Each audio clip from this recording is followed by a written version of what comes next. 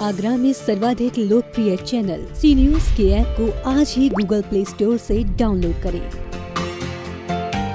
महिला थाने में टूटे परिवारों को जोड़ने का कार्य किया जा रहा है। जनवरी से अब तक आए चार प्रार्थना पत्रों में 160 पति पत्नी का समझौता करा दिया गया है, जबकि 34 मामलों में काउंसलिंग चल रही है। महिला थाने में टूटे परिवारों को जोड़ने का कार्य किया जा रहा है। प्रभारी निरीक्षक महिला थाना अलका ठाकुर के साथ महिला हेल्प डेस्क पर पति पत्नी के बीच काउंसलिंग करा परिवार जोड़े जा रहे हैं। इंस्पेक्टर अलका ठाकुर का कहना है कि जनवरी से अब तक आए चार प्रार्थना पत्र देकर शिकायत की गई थी, जिसमें 160 पति पत्नी का समझौता करा दिया गया है। अभी तक जनवरी से लेके अभी तक चार फ़ाइल करीब आई हैं।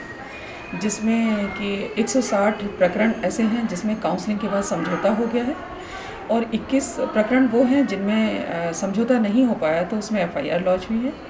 और 222 प्रकरण ऐसे हैं जिसमें कि दोनों पक्षों का किसी भी वाला वाला माध्यम से मतलब उन्होंने गुस्सा गुस्सी में दे दिया एप्लीकेशन लेकिन फिर उनका आपस में ही कॉम्प्रोमाइज़ हो गया। फिर उन्होंने थाने आना उचित नहीं समझा और हमको इन्फॉर्म कर दिया कि आप हमारी फ़ाइल बंद कर दीजिए।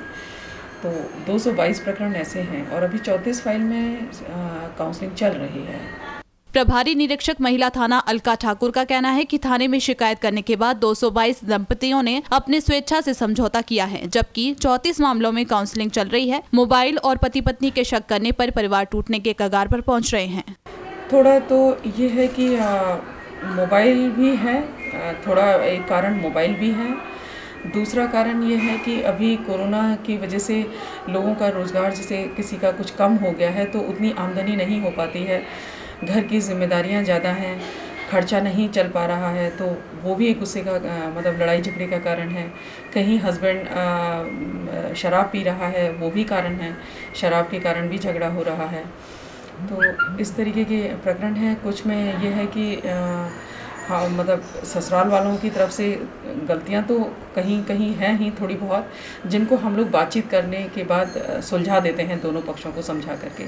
शराब पीकर घर आने पर पति पत्नी के बीच झगड़ा होने से भी संबंधों में दरार आ रही है। महिला थाने में प्रार्थना पत्र लेकर पहले समझौता कराने का प्रयास किया जाता है। पति पत्नी को बैठाकर काउंसलिंग कराई जाती है, जिससे आपसी सामंजस्य बना रहे। इसके बावजूद भी समझौता न होने पर मुकदमा दर्ज किया जाता है। सी न्यूज़ के लिए उमेश शर्मा की रिपोर्ट।